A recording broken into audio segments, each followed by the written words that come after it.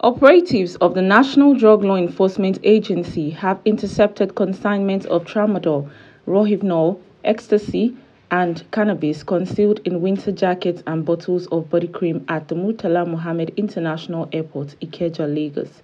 This was disclosed by the agency's Director of Media and Advocacy, Femi Babafemi, in a statement on Sunday.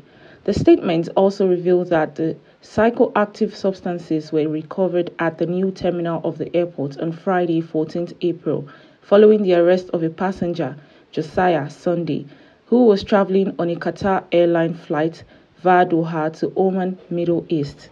Chairman of NDLEA Brigadier General Mohammed Buba Marwa, retired, has commended the officers and men of the MMIA, Edo, Ogun, Lagos, Katsina, Kaduna, and Ondo commands of the agency for the arrest and seizures of the past week. He urged them and their compatriots across the country to remain focused and continue the current drug supply reduction and drug demand reduction efforts simultaneously. Do remember to subscribe to our YouTube channel and follow us across all social media platforms. I am Esther Alexander.